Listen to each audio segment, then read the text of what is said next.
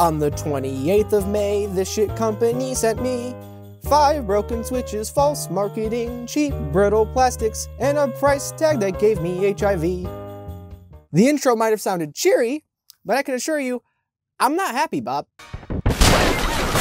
So since I've grown quite uh, tired of my Azeron keypad, I'm going to do my best to make this video short. This is more so going to be a bitchy rant instead of an honest review because I, I don't even really know if I can just review this without being somewhat biased. Because not only am I out $225.30, I've also been lied to just like every other person who's bought an Azeron keypad. I have an announcement before we talk about my immeasurable disappointment though, and it's that I finally have a Discord. It's called Cuda's Hangout. You guys can come in there, chill, talk about products, uh, you guys can get updates on my upload schedule, call me names, whatnot. It'll be linked down below as well as in the channel banner if you're interested. I know a lot of you have asked for it, so here you go. Next stop is merch, but I have to, I'm gonna do the merch myself, all the designs, that's gonna take some time, of which I don't wanna waste any more of it. So let's do this.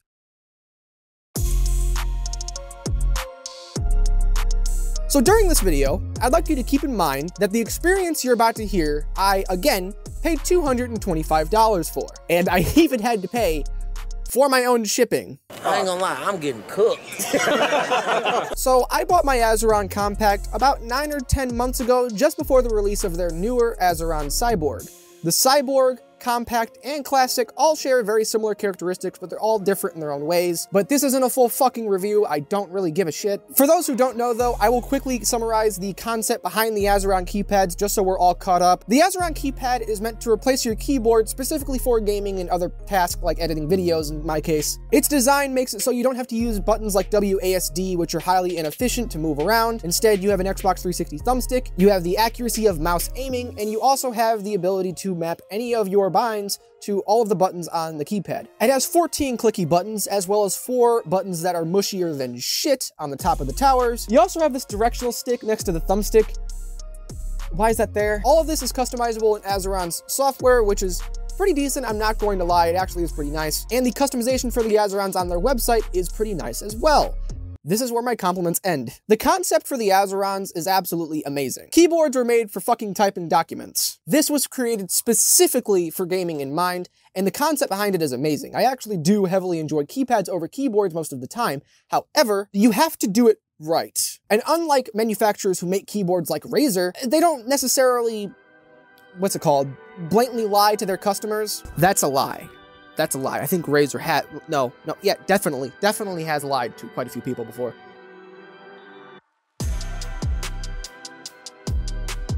Unrivaled ergonomics ensure excellent comfort while playing your favorite PC and console games. Merge best things from who the fuck wrote this? Merge best things from different gaming worlds, analog stick 360 movement from consoles, and 24 programmable keys with 10 million clicks lifespan from the keyboard. This statement is a straight fucking lie, at least I'm 95% sure of it. All Azeron keypads advertise a 10 million click lifespan for the microswitches used. I've dismantled two different towers from the Azeron keypad, one which came with my keypad and one which was sent to me for replacement from Azeron both of which use D2F01 Omron switches, which are not rated for 10 million clicks, but 1 million clicks.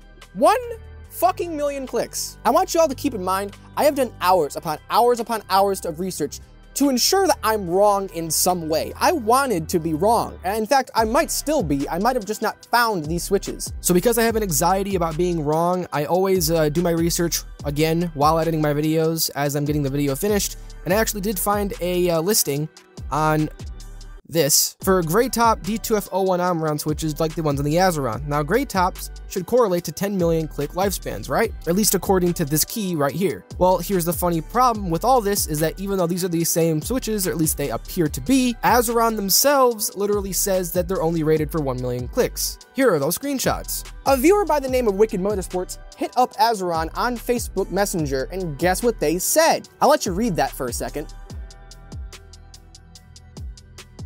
Kind of fucking stupid, isn't it? So I myself actually reached out to Azeron to confirm this, and yes, the switches are rated for at least 1 million clicks. But you wanna know what the fucking most hilarious part about this is? The day after, the day after I hit them up and telling them I'm making a video, the very next fucking day, if we go over to Azeron's website, it's no longer here. But when Wicked Motorsports hit you guys up, uh, what, like a week or two ago at this point, it still wasn't changed until I'd said something. I don't know how Azeron support's aware of this, but on the website it still states a 10 million click lifespan. How the hell do they know about this? But the advertising that's there, literally on the website, says something that's completely different. You'd have to be as blind as fucking Helen Keller to not see that shit. So either you know that it's not real, and you're lying to your customers intentionally to make them think your product's more reliable than it actually is, or you just don't care. Either way, it's a bad look. I would know firsthand how bad these switches are, because I have gone through five of them. So I kind of wanted to get the actual factual false marketing shit out of the way first, as well as uh, Azeron's somehow being aware of this but not doing anything about it. Before I talked about my own personal experience, customer support's been great, buying it was great. It was, you know, it's all been a very nice experience, aside from the fact that five of my switches have started double clicking. The first one happened three months after I bought the keypad. Why is the you piece of shit, why does this still turn off? And you know what? It wasn't actually that bad. The first time my Switch went out, it was it wasn't that big of a deal. Azeron was like, we can send you new parts and you can install them yourself, or we can uh, we can have you send it back in and we'll, we'll repair it for you. And I was like, perfect, just send me the parts. The Azeron, I will give them this. This is uh, uh, something I'm a very big fan of, and it's right to repair. This is something that companies like Apple have taken very uh, steep measures towards. Like they'll add serial numbers to their cameras so it's actually tied to that phone. So even if you get an identical camera from an actual iPhone 12, it won't match your iPhone 12 and it won't work. You have to go to Apple to get it repaired. That's scummy shit. Azeron makes the device very easy to repair intentionally, so you can do the shit yourself. It's probably to ensure that their shitty little keypad that they know isn't that reliable can be repaired without them being overloaded with them. Also, if you think they didn't know that this product is going to be unreliable, they added a feature to help with double clicking switches in the software, and spoiler alert, it doesn't really work that well. Anyways, back on topic. Again, about two, three months later, the same switch started double clicking. And now, not only is that switch still double clicking to this day, four other switches are double clicking. Wait, no, three. For a total of five. Five double clicking switches. The switch that's next to my thumb, there's one on my index finger, one on my pinky finger, and the exact same one on my ring finger that I use for space. The exact same one that went out the first time, for which Azeron again sent me a tower that I could replace. At this point in time, if I wanted to repair my Azeron, I would literally need to have them send me half of the fucking keypad. You wanna know what's worse?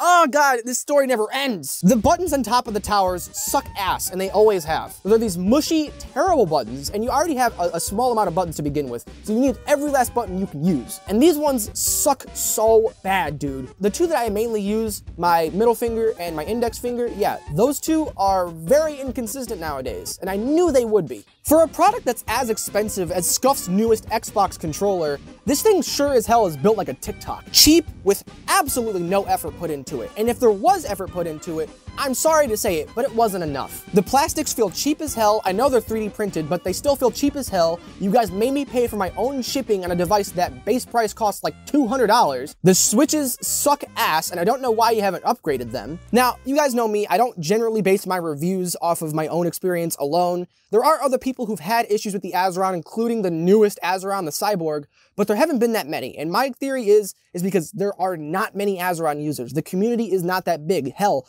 their Instagram doesn't even have as many followers as Battle Beaver Customs. So I'm just assuming there isn't a large enough sample size for me to actually see whether or not these devices work well or work like shit. My guess is that most of them work fine most of the time. Most people probably aren't having the issues I have. But for me to have had the issues that I've had, this isn't an acceptable experience. For me to do the research that I've done and find that every single website that mentions the switches you guys use are rated for 10 times less than what you're advertising, it kind of pisses me off.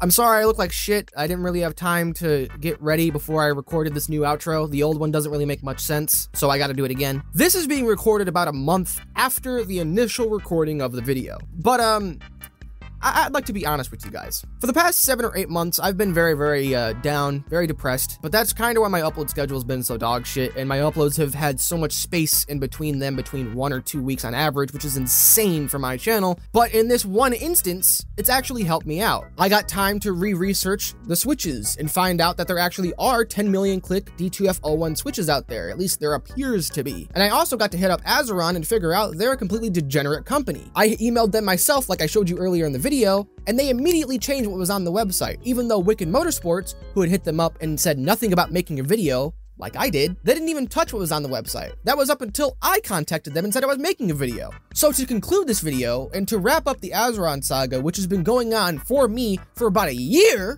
this product fucking sucks. They're completely disingenuous, and their product is made out of the cheapest fucking materials I have ever laid my hands on. The plastics feel like utter garbage, and the switches are rated for a hundred million times less than that of the Razer Huntsman and Huntsman V2 switches. You could go to Razer and pay just as much for one of their keyboards as this keypad and get something that is literally a hundred times more reliable. It's funny too, because the, the one single controller part, there's a controller part on this keypad, and that's the one part that didn't give me any issues. What a fucking backwards timeline. I must have accidentally fallen asleep and slipped into another universe where black holes are inside out, Microsoft is a good company, and controller parts last longer than mouse and keyboard parts. I think I'm gonna end that there though. There isn't really much else I can say. I wouldn't trust Azeron with any of my money, especially the amount they ask you for this piece of shit. And Guess what? I'm very upset. They make me pay for shipping. They charge me $200 for this piece of shit piece of plastic, and they still make me pay for my own fucking shipping. Fuck you guys. Congratulations, Azeron. You single-handedly now have the most unrecommendable product that I have ever reviewed on this channel. At this point, I don't even know what to say. Microsoft is a shit company who makes shit products. But when they advertise that the Elite Series 2 is the world's most advanced controller, even though it's laughable because the world's most advanced controller directly correlates to the world's most unreliable controller, what they're saying isn't straight up a lie. What you guys said was straight up a lie, and you only changed it because someone with influence scared you. But yeah, again, I'm just gonna I'm gonna end it there before I get more upset. Members, I appreciate you guys. Uh, I don't know how you keep supporting me, even though I only upload like once a month at this point. Hopefully I can change that. I'm gonna try. I genuinely do mean that this time too. Next stop, comparing more controllers. Holy shit. At least when I go back to controllers, I know what I'm in for. Jesus fucking Christ.